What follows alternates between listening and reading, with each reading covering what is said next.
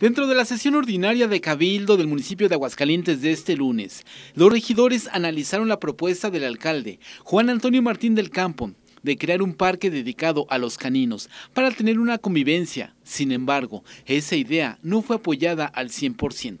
Para mí sería muy bueno el hecho de que en lugar de invertir un millón de pesos en un parque, se, se, pudieran hacer espacios en varios parques, a lo mejor nos alcanzaría para 8 o 10 parques el recurso de ese millón de pesos, en donde en las ciudades más avanzadas del mundo tenemos este tipo de espacios para que se pueda convivir, es decir, poder llegar a más población.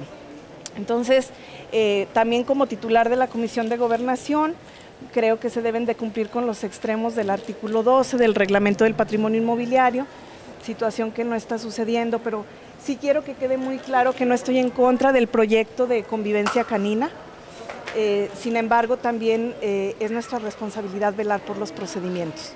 La opinión personal de en cuanto a una política pública que se pudiera hacer de una manera diferente, pues es eso, una opinión personal. Pero en este caso es en lo que se refiere al procedimiento. Este parque está proyectado para construirse en la unidad habitacional Los Pirules, a donde se planeó hace unos meses. En este parque habría la oportunidad de que los perros entren con sus dueños a jugar o bien se distraigan con algunas áreas de entretenimiento.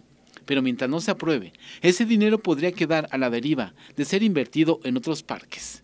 En el tema también del cementerio canino, no hay una respuesta inmediata que el gobierno dé para el caso su construcción, porque no hay dinero para invertir.